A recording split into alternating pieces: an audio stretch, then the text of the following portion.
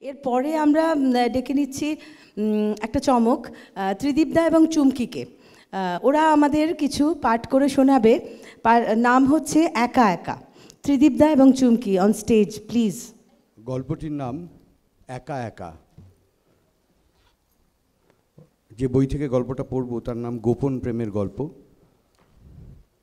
গল্পের লেখক আমি স্বয়ং Tridip Chattopadhyay.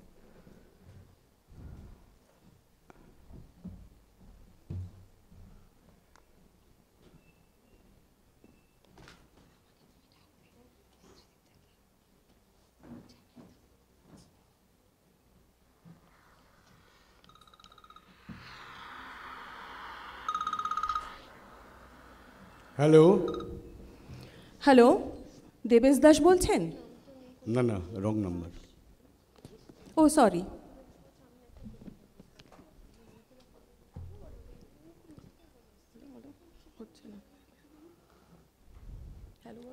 hello hello hello hello এটা কি দেবেশ দাসের ফোন নাম্বার মোটেই নয়। আপনি একটু আগে ফোন করেছিলেন না? হ্যাঁ সরি কিছু মনে করবেন না। না না, আমার মনে হচ্ছে আপনার কোথাও ভুল হচ্ছে। দেবেশ দাসের নাম্বারটা আপনি ভুল নোট করেছেন। আমার নাম্বার হচ্ছে nine four three three zero nine. Hello hello, যা, রেখে দিল। রে, অদ্ভুত মহিলা তো। পরপর ভুল নাম্বার করছে, বলতে গেলাম আরে, আবার ফোন? তো একই নাম্বার। মহা জ্বালাতন হলো। এই নিশ্চয়ই সেই মহিলা। এ ভুল নাম্বার করছে, শুনছেও না। কি জ্বা- জ্বালাতনে পড়লাম। হ্যালো? উফ। এই হ্যালো, শুনুন, আমার দয়া করে আমার নাম্বারটা প্লিজ প্লিজ একটু নোট করে নিন। এটা কোনো দেবেশ দাসের নাম্বার নয়। শুনছেন? আরে কথা বলছেন না কেন? আমি বুঝতে পারছি আপনি ইচ্ছে করে করছেন না। দেবেশ দাসকে আপনার এখনই দরকার তাই তো? না কোনো দরকার নেই। তবে? আমি জানি এটা কার নাম্বার। কি? জানেন? হ্যাঁ জানি। দেবাঞ্জন দত্তর নাম্বার। হ্যাঁ। হ্যাঁ হ্যাঁ হ্যাঁ, ঠিক ঠিক। আমি দেবাঞ্জন বলছি। কিন্তু তাহলে এতবার ধরে দেবেশ দেবেশ। ইচ্ছে করল। ইচ্ছে করল? আমি তো আপনার কথা কিছুই বুঝতে পারছি না। বুঝবেন কি করে? গলাটাই তো চিনতে পারলেন না। কি হলো? চুপ করে গেলেন যে? দেখুন ম্যাডাম আমি ভীষণ ক্লান্ত। সারাদিন অফিসের প্রচুর চাপে থাকি। এই রাত সাড়ে আটটার সময় জানি জানি। এই সময়টুকুই আপনি রিল্যাক্স করেন। টিভিতে খবর দেখতে দেখতে ফ্রিজ থেকে খাবার বার করে আভেনে গরম করবেন। তারপর দুপেক ভিস্কির সঙ্গে ডিনার ঠিক বলছি তো? Two hundred percent I am just surprised আমার সম্পর্কে যাবতীয় ইনফরমেশন আপনি রাখেন। Thank you for that but why কেন? কে আপনি? বলব না। আপনি গলা চিনতে পারেননি। আপনাকে গেস করতে হবে। রাবিশ ভালো লাগছে না ছেড়ে দেবো কিন্তু। লাভ নেই আবার করব। সুইচ অফ করে দেবো। তখন ল্যান্ডলাইনে করব সেটাও যদি অফ করে দেন কাল সকাল থেকে আবার শুরু করব। প্লিজ প্লিজ কেন জ্বালাতন করছেন বলুন তো? আচ্ছা জেদি মেয়ে তো আপনি। এই তো ঠিক বলেছেন এতক্ষণে। তবু চিনতে পারছেন না আপনার স্মৃতিতে এত মরচে পড়ে গেছে আজ তো গবেট একটা। গবেট? হাউ ডেয়ার আরে ও মাই গড আপনি আপনি তু তু- তুমি কি? হ্যাঁ নবনীতা। ছি তুমি এই ক বছরেই এত ব্লান্ট হয়ে গেছো? যাকগে বলো কেমন আছো? কেমন আছি এ প্রশ্নের মানে কি? তুমি তো দেখলাম আমার নারী নক্ষত্রের খবর রাখো। হঠাৎ এতকাল পরে after so many long years তোমার আমায় মনে পড়ল? মনে না পড়ে কি উপায় আছে দেবাঞ্জন? জীবন থেকে কি মুছে দেওয়া যাবে দশটা বছর? মুছে দেওয়া যাবে দেবলীনা অরিত্রকে?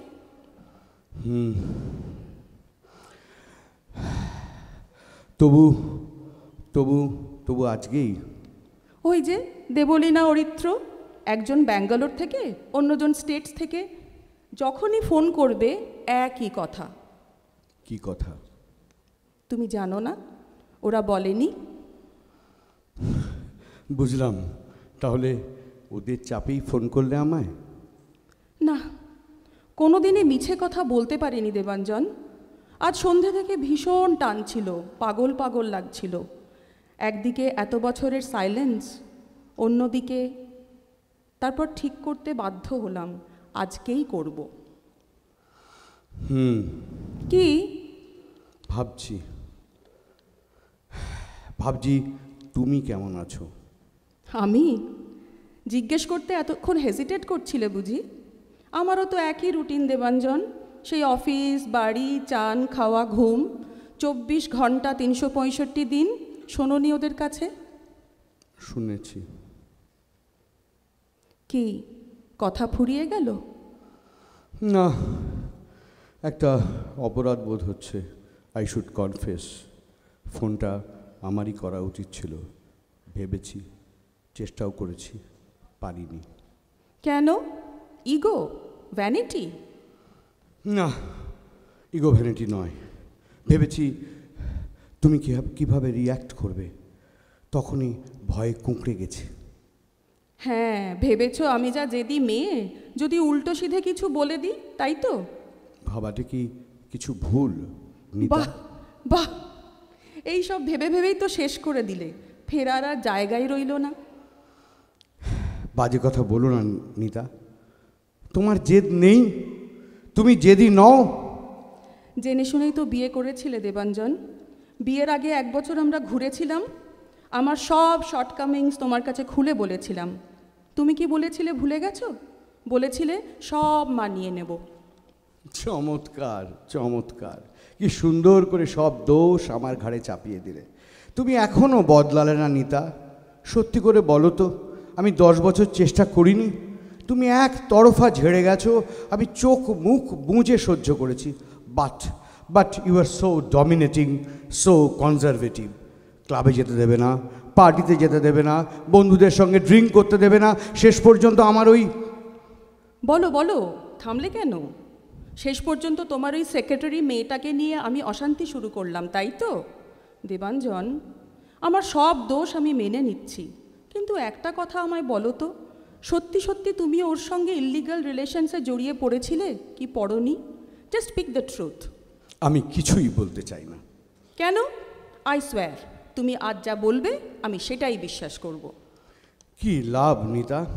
বিশ্বাস করা না করায় আজ আমাদের কার কি এসে যায়? তবু তবু অন্তত বুকের ক্ষতগুলোই তো প্রলেপ পড়বে। প্রলেপ পড়বে? না ব্যথা বাড়বে। তোমার মনে পড়ছে সেই রাতটার কথা?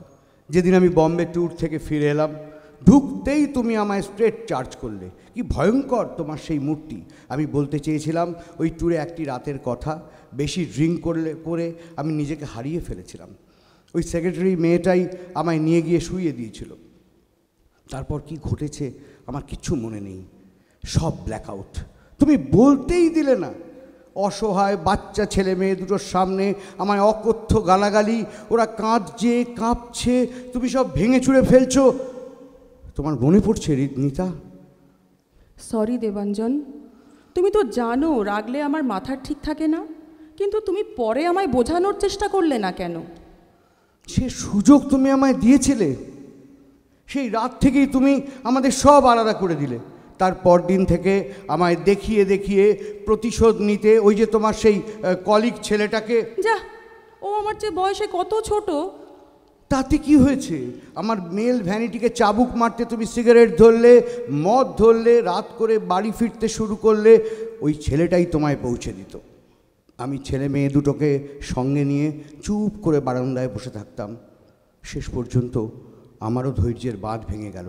পারিনি। দ্যাট ওয়াজ মাই ফেলিয়ার কি হলো? এবার তুমি চুপ করে গেলে কেন? আমি আমার কিছুই বলার নেই দেবাঞ্জন। হয়তো আমি আমি। ওকে ওকে নিতা এটুকুই যথেষ্ট। একটাই আফসোস সেদিন যদি বুঝতে তাহলে হয়তো আমাদের মাঝের দিনগুলো অন্য রকম হতো। আর সুযোগ নেই দেবাঞ্জন? কি হলো? আর হয় না না? চেষ্টা করতে চাও? তুমি কি রাজি? একটু সময় দাও ভেবে দেখি। কাল ফোন করব? না কালকেই নয় এক সপ্তাহ পর আমি তোমায় করব। রাত অনেক হলো কাল আবার অফিস আছে এবার ছাড়ি। ইচ্ছে করছে না। পাগলি মেয়ে গুড নাইট নমস্কার।